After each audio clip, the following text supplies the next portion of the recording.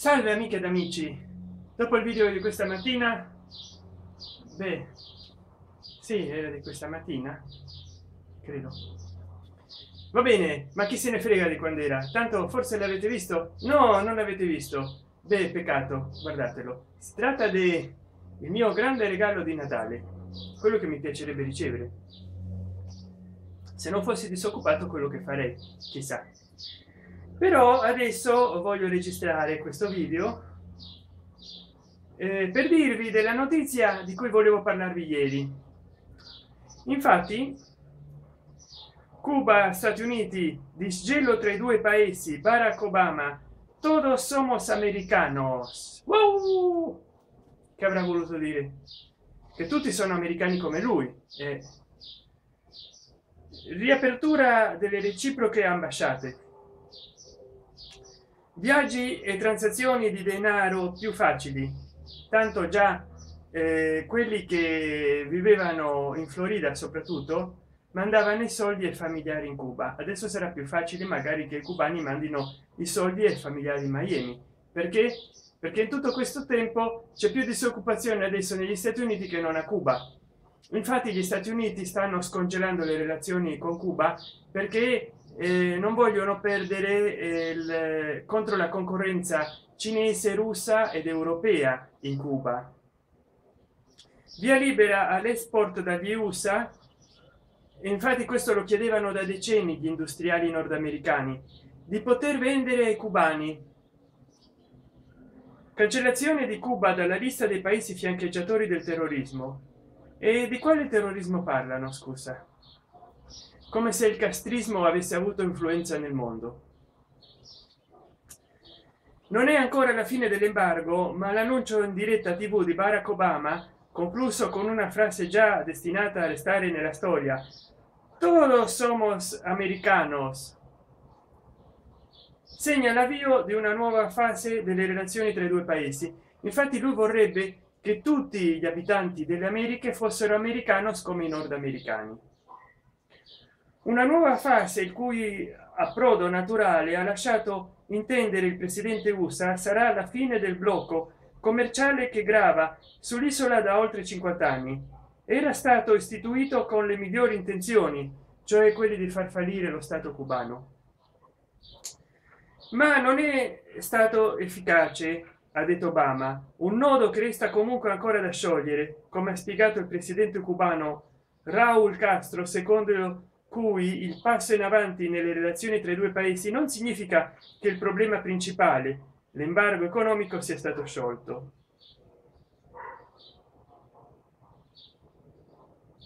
Non è esclusa una visita del presidente americano barack obama a cuba lo afferma il portavoce della casa bianca josh ernest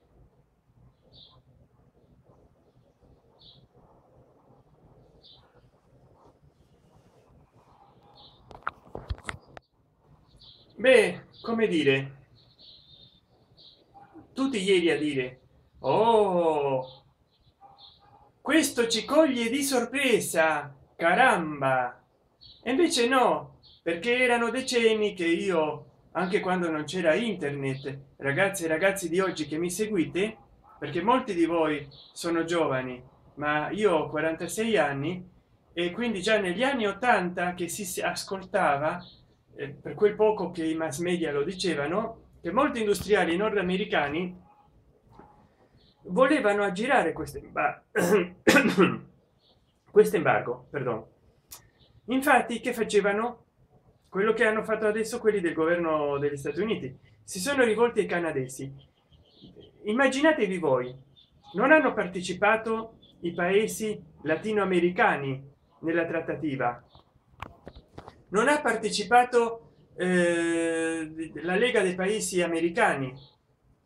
Non ha partecipato europa india cina russia sudafrica eh, la lega araba.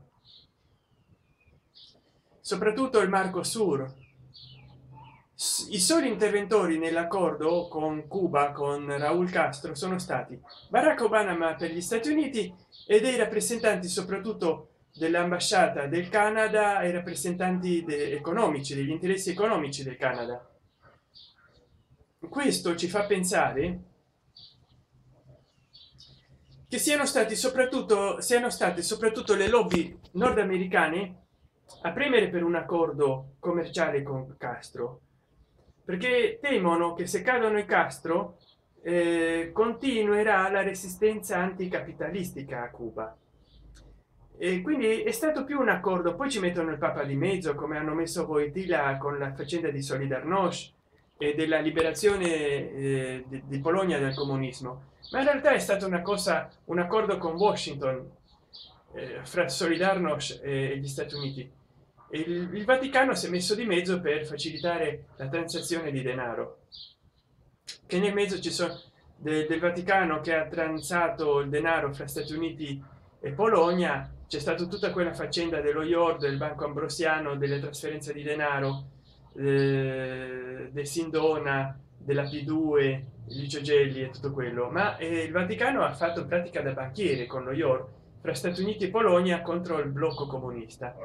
Adesso il Vaticano non so che ruolo economico abbia avuto credo nessuno perché di mezzo c'è stato il Canada per quello.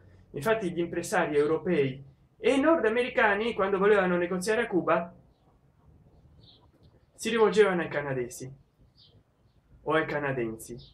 Però il papa ha fatto da intermediatore morale come per dire bravo è stato merito suo che ha messo una parola che adesso i cubani eh, riescono a dialogare con i nordamericani perché anche se atei e comunisti eh, ha toccato le loro coscienze. Invece non è così.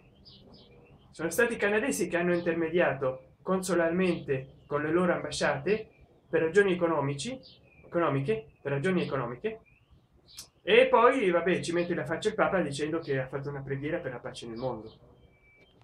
Come il papa che ha intermediato eh, il giovanni XXIII per la questione dei missili russi a cuba se non mi sbaglio era quel papa. Ma vabbè poi tutti quanti hanno chiamato il papa e si sono messi in pace. Ma in realtà le trattative sono state altre e hanno, e hanno fatto le trattative grazie anche alle prove satellitari che avevano gli stati uniti eh, dei missili russi a cuba.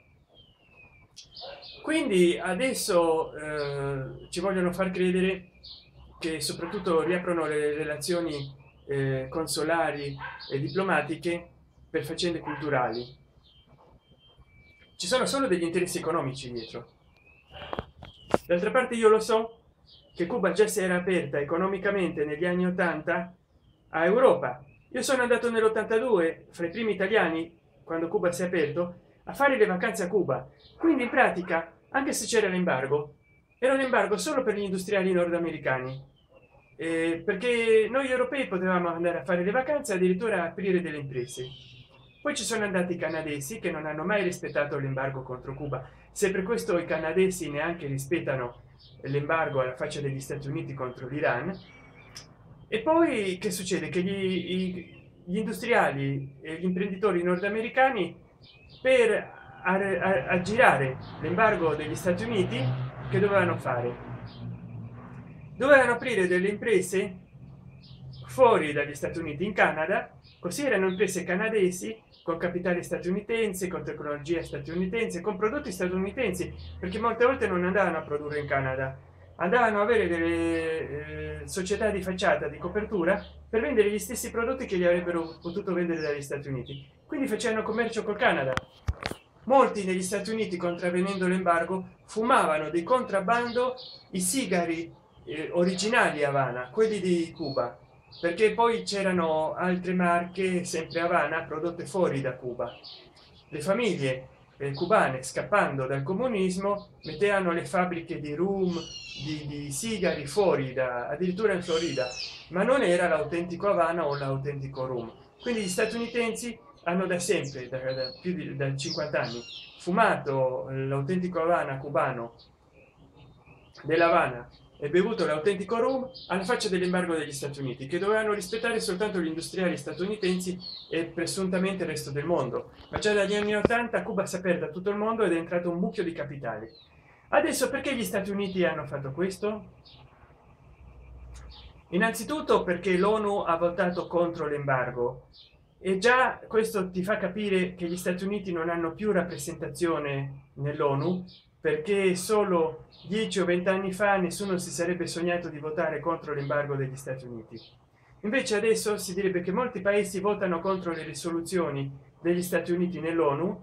L'onu sta diventando uno strumento sempre meno controllato dagli stati uniti e sempre più controllato da cina cina russia eh, india e addirittura eh, paesi latinoamericani come brasile e sudafrica e anche europa. Quindi se tutti i paesi si coaliz coalizionano contro eh, israele e stati uniti per esempio si arriverà a riconoscere finalmente palestina perché l'onu le nazioni unite hanno riconosciuto l'esistenza di israele. E quindi l'onu può anche riconoscere l'esistenza della palestina. Siccome adesso il veto degli stati uniti di israele non conta più e siccome cina non vota più come gli dice gli stati uniti perché sono più forti possono anche votare contro il voto degli stati uniti. Russia anche. Adesso conta di più. Gli stati uniti stanno diventando ininfluenti nell'onu. Allora siccome non riescono a arginare a bloccare cuba loro che hanno pensato bene? Di aprire le relazioni con cuba e magari obbligandoli a firmare qualcosa tipo l'alca che hanno fatto firmare a messico e canada in modo da avere l'esclusiva nelle relazioni commerciali perché se no oggi la geopolitica non passa più per invasioni territoriali e missili termonucleari ma passa per invadere le sfere di influenza commerciali.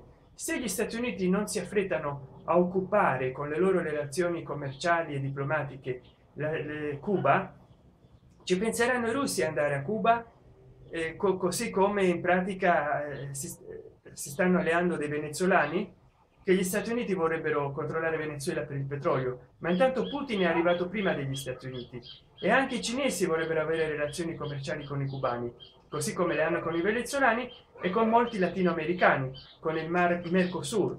Quindi per quello che gli stati uniti adesso vogliono perdere tempo perduto tempo perso perché si rendono conto che se no arrivano al giorno d'oggi che hanno più influenza più potere russia e stati uniti eh, no.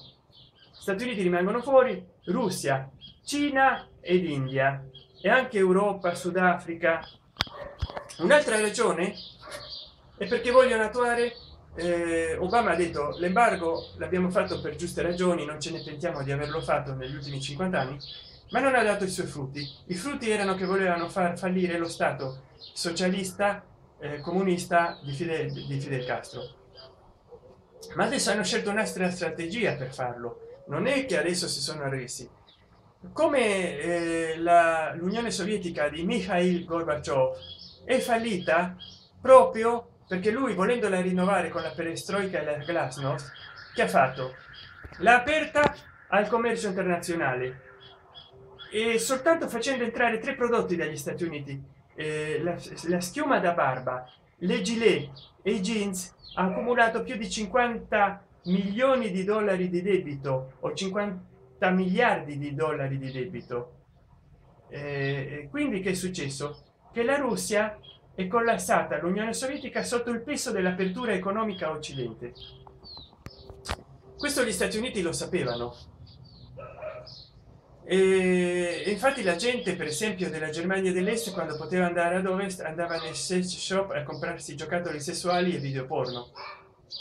E in russia compravano schiuma da barba lamete e gilet elettriche e tutta la pacotaglia commerciale occidentale.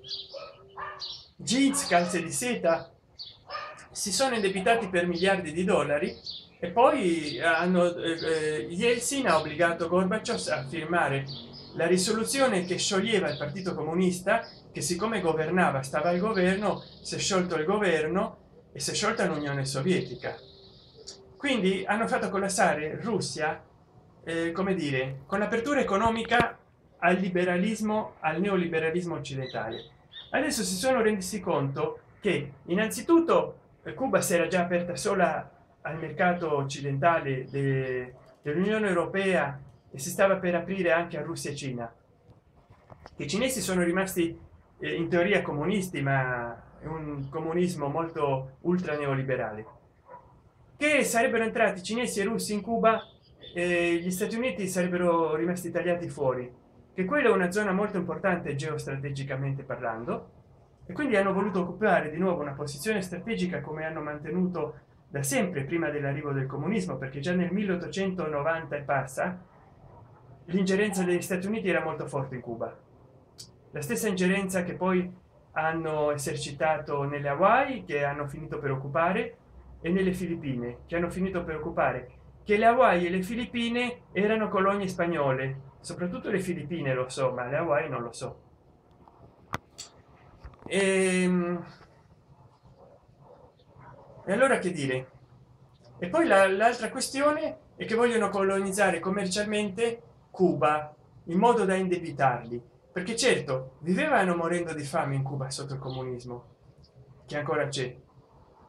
Però hanno un'economia che sempre di più si è modernizzata prendendo denaro fresco da europa soprattutto e da imprenditori statunitensi che andavano attraverso il canada a vendere o a fabbricare. E allora che eh, vogliono che aumenti la relazione commerciale con l'estero di cuba soprattutto con gli stati uniti in modo da generare guadagni per gli stati uniti e perdite per il sistema il regime castrista. E poi magari cambia regime perché vedono che è troppo rigido sclerotico. Non lo so. E questa è stata la mia impressione di una notizia che volevo dare ieri perché è stata primizia ieri. E per me sono queste le ragioni per cui gli stati uniti si aprono alle relazioni diplomatiche con cuba. Perché innanzitutto vogliono riconquistare una posizione adesso che il mercosur e i caraibi si relazionano con sempre più maggiore intensità con cina e russia che sono le potenze che stanno subentrando l'egemonia nordamericana nel mondo.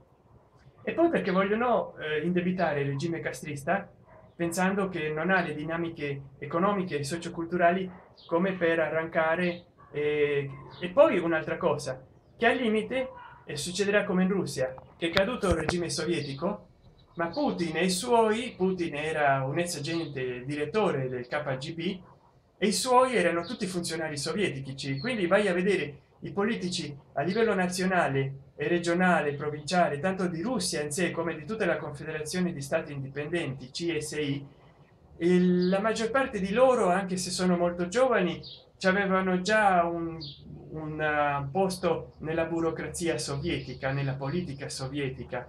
Quindi che è cambiato? Nulla. L'orientazione politica del paese è economica però tutta la classe politica ex sovietica in russia. Lo stesso succederà a cuba.